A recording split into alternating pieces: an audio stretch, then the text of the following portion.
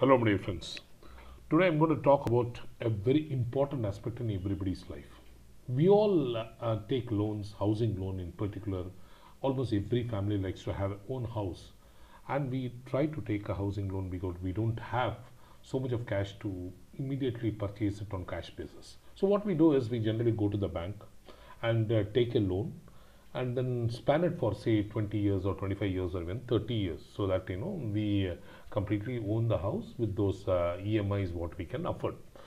Now my dear friends i'm going to bring to light some of the very hard facts in banking which is going to take off most of your savings. And you'll be really shocked to see as i go further in the video. Now, when you take a home or a housing loan for that matter, you are caught in a debt trap. Okay? Throughout your life, you will not be able to spare for any sizable investments for a next bigger investment, in fact. So, what will happen is when somebody says that you know you have, do are you planning for another house? You will say, no, no, no, I am already paying a huge EMI for my house.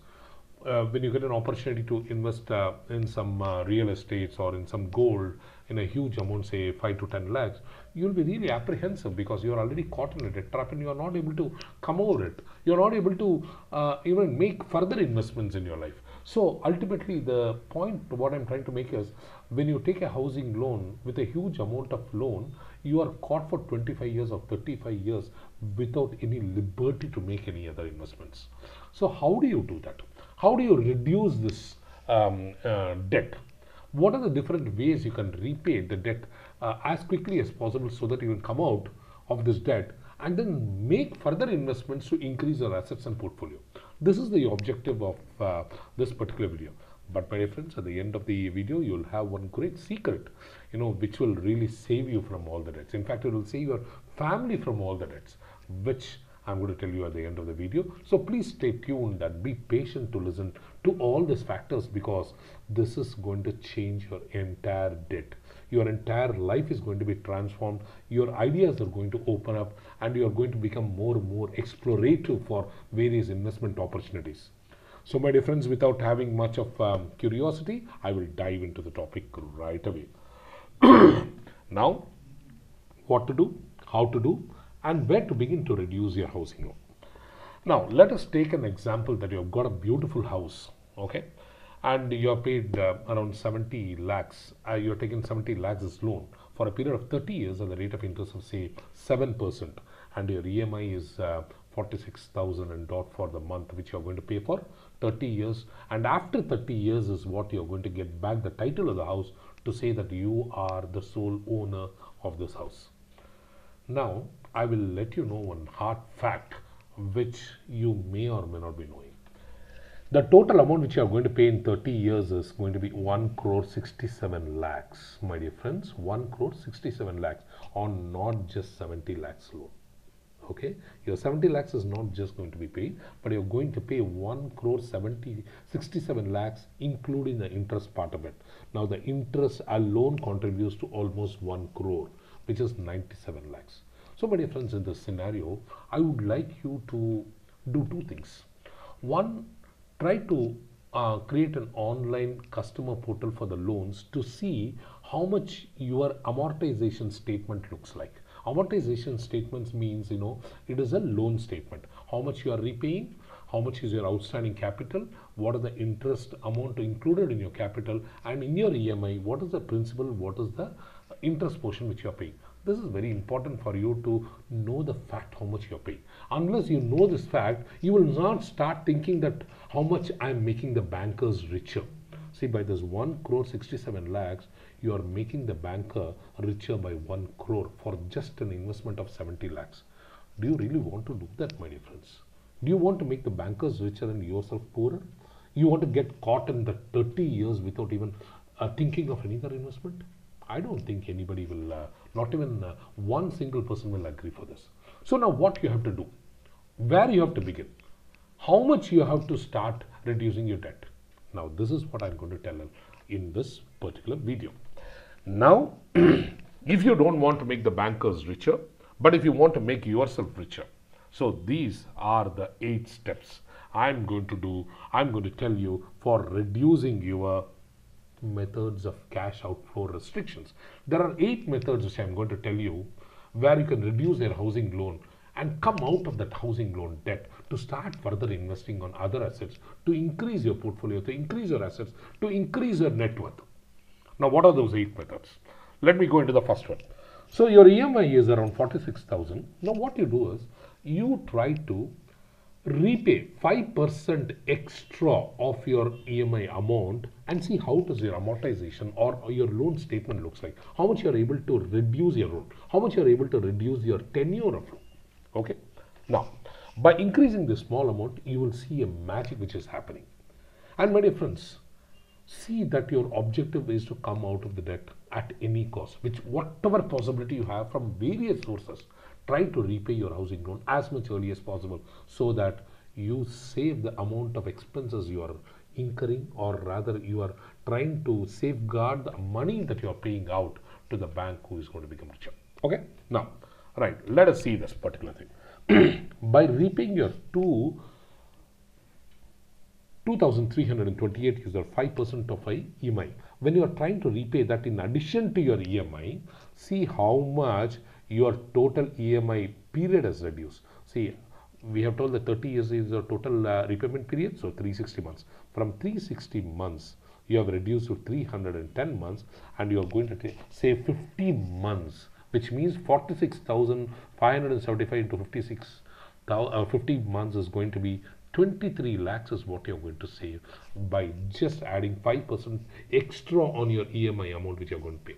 Now, by doing that, see 23 lakhs is not an ordinary amount, my dear friends. It's a very huge amount in fact. So imagine, try to stretch a little bit of paying 2300 which is 5% of your EMI and see the magic happening. This is just an indicative figure. So you try to calculate 5% of your EMI and start repaying extra every month and see how much of money you're saving. With this 23 lakhs, you can do wonders in your life.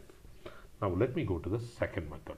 The second method is, in addition, uh, you know, every person of every person today will receive a bonus at the end of the year okay from your factory or your industry or whatever based on your performance based on the company's profitability and all so try to see that some portion of that is repaid every year okay every year for your emi now I don't say only IT industry does pay, even factories, industries, various other enterprises give a share of their profits to you.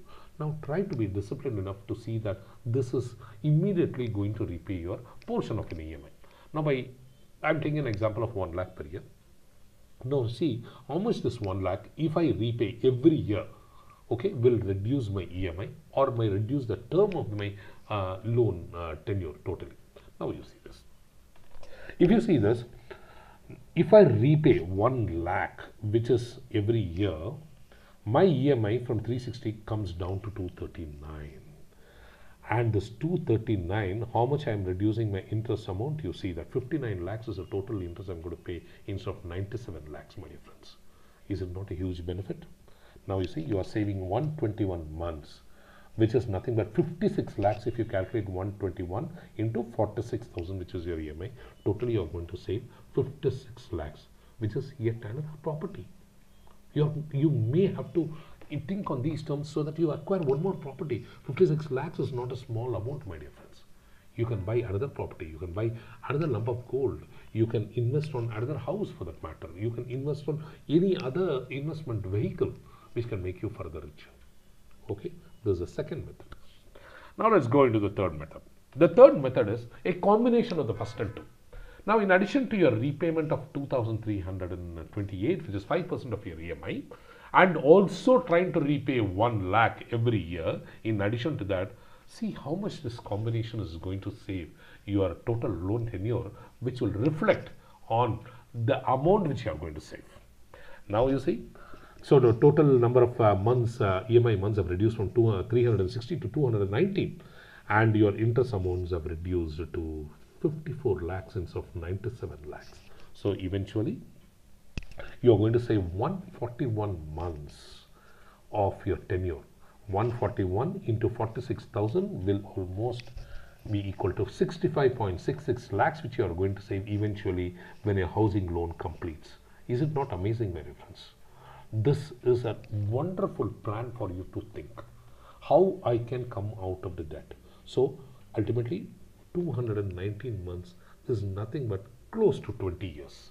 Close to 20 years. So you are virtually reducing from 30 years to 20 years. 10 years of EMI you are saving, which is not a joke, my friends. More than 10 years, in fact. So now I'm going to give you further tips how you can go on reduce. See, once you once you align your objective towards the towards the aim that you're going to reduce your expenses towards your home loan, you will start exploring various methods how to do it. Your direction of thinking will get totally changed, and you yourself will start getting explorative for how I can reduce my income and see that your debt is cleared off as soon as possible. Now you see the third, the, the fourth method. The fourth method is, see, when you are building a house, many of the persons, what they do is when you, they are building a villa or when they are building a duplex house, they leave a, a tenant to occupy on the ground floor or the first floor. Or they may live in a different city and leave the house for rent. So you will naturally get a rental income. Now you divert that rental income also towards the repayment of your housing loan.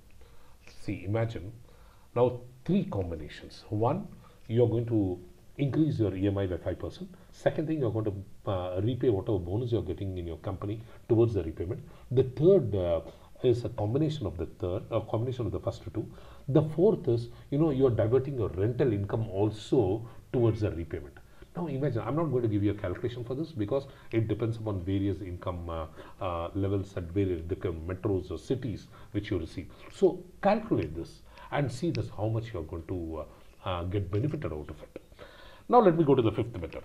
Now the fifth method is, see now people who are, you know, very talented or people who are very very uh, aggressive about uh, starting business or doing some side income by virtue of uh, you know doing a consulting or or uh, rather uh, starting a tuition of their own or starting a you know a part-time income you know that could also try to generate an extra income which you would like to divert you know to uh, the repayment of the housing loan. See once you try to try to explore your talents okay? And start encashing that instead of wasting your time by sitting in the house and watching serials or movies or whatever it is. Be explorative to see that how i can earn income on a on a side track which can substantially increase my sources of income. And that uh, sources of income eventually you divert it towards repayment of your housing loan. This will become a huge amount of uh, you know like um, uh, a debt reduction in your portfolio my dear friends. So this is another thing which I wanted to tell you because there are a lot of people who do multiple jobs or multiple um, uh, generate multiple sources of income. And this is what makes them even more richer by multiplying multiplying their income. They become uh, rich uh, on an exponential basis because they don't waste their time. They don't waste their time in whatsapp. They don't waste their time uh, watching movies on a continuous basis. They don't waste the weekends. So think of that think of that and try to generate uh, you know each one is extremely talented to generate income based on their skills based on their um, inborn talents based on their uh, strengths and their you know god given gifts. So utilize that. Uh, monetize that and generate revenue out of it and see that you are benefited out of it. Now let's go to the sixth method. The sixth method is many of you may not be knowing. See, I have done this practically in my life. So every three months, the uh, the, the, RBI uh, will change the rate of interest, and by changing the rate of interest, what eventually happens is, if the rates are increased, by default the bank will increase the term, keeping the EMI constant. So my dear friends, don't let this do that. This is your option. This is your loan there are many friends of mine who have just taken the loan and slept over the period. For 25 years term they are paying now 30 years or 32 years because they did not even care about the rates of interest changes which is happening in the market and which RBI is regulating.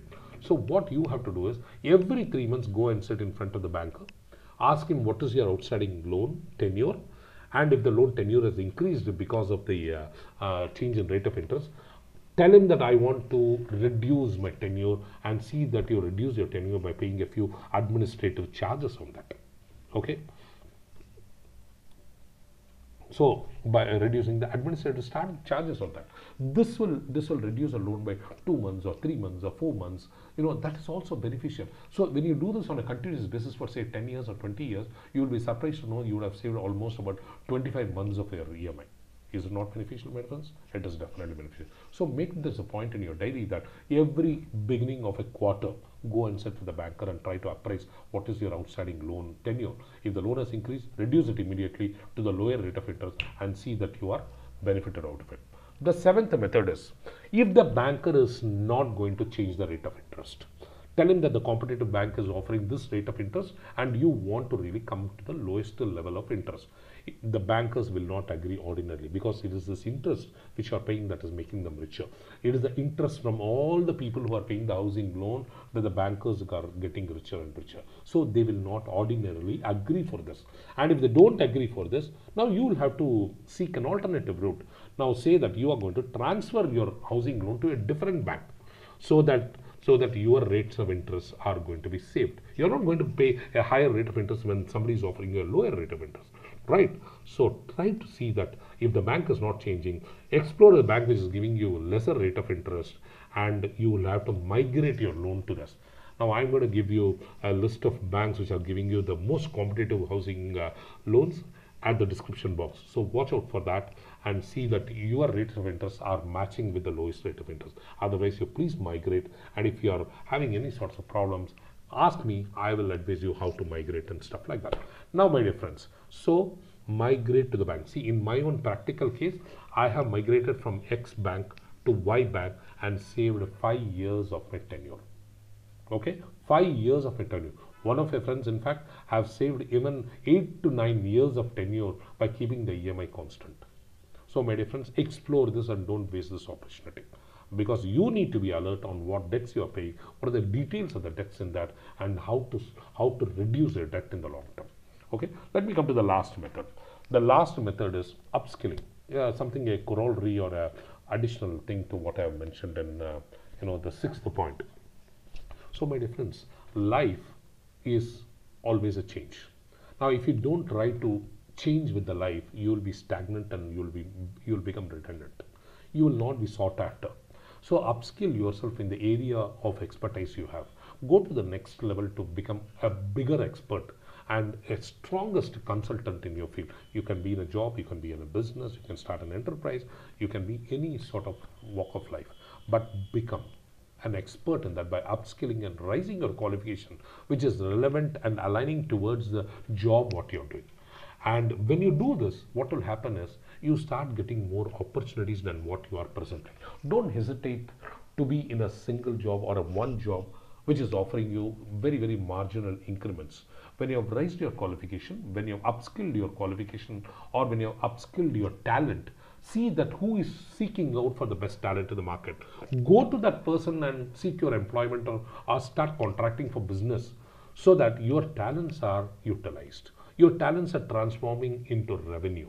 And your revenue, when increased, can clear off your loans at the earliest. This is your objective. So, my dear friends, see that you constantly upgrade your skills and seek for better opportunities where, which can pay you more, which can compensate you more, which can make you more richer. And through that richness of extra income, try to repay the housing loan as early as possible. So, my dear friends, these are the eight golden methods I would consider anybody to resort to for repaying the housing loan at the earliest. My dear friends, this is not just for housing loan, for any of the loans you're having. I've just taken housing loan because housing loan is usually huge in amount and the tenure. That's the reason I have taken housing loan as an example. So this is a very important aspect, my dear friends. So follow these eight methods, write it in your diary and see that you follow very, very religiously and very, very strictly so that you are going to be benefited with this debt trap and try to increase your portfolio, increase your capital assets and see that your net worth increases and see that you're happy at the earliest with sorts of return. Money, my dear friends, makes many things many, many things. You can become more richer, you can help more people, you can create more assets, you can give employment to a lot of people. So a lot of things is possible by money. So acquire money, but acquire in a professional way, acquire in a scientific way, and uh, and that is where you are going to increase your level to the next orbit. Okay, friends. So ultimately, your objective is to think differently. Okay. See, many of the people, what happens is they just take a loan and then they, they sleep over it. They don't care because I'm going to pay my EMI for 30 years and then sleep over it. God only knows how much they are going to pay. They don't even have an idea how much they are going to make banks richer, how much they are going to make themselves poorer. So they leave it to the fate of the banks. But you are not going to be like that. see that you think differently. You change your approach. You try to educate yourself financially. You reduce your cash flow which is going out so that you increase your assets and do this analysis and self-study by yourself. And if you're not having that time or expertise to do it, contact experts and financial advisors like me and we will help you plan your portfolio in such a way that you increase your portfolio, reduce your cash outflow, increase your assets, increase your net worth and see that you are richer end of the day. That's the objective. Everybody is an expert in that field, so you should not try to hesitate by contacting them for the benefit of yourself. Okay, my dear friends.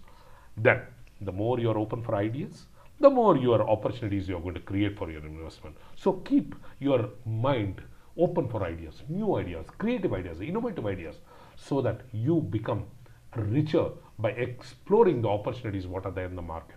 Market is a beautiful place for you to earn money. Market is a beautiful place for you to increase your net worth. It is you who have to open your doors of vision. And that's what I'm trying to ex explain in this video. So my dear friends, if you like this video, subscribe to my channel, hit the bell button and uh, pass it on to your friends and relatives so that they also get enlightened like this and benefit out of it, my dear friends. Hope this video is fantastic. Give your comments in the description box and for the areas of interest you would like to explain to me, uh, uh, for me to explain to you and I will do that in the next video. Okay, my friends, for any sorts of uh, clarifications, doubts or queries, don't hesitate to contact me and I'm always ready to help you because we all must see that we enjoy and lead a great life ahead. Few words, I'll end this video. All the best. Happy investing. Have a great life ahead. Bye.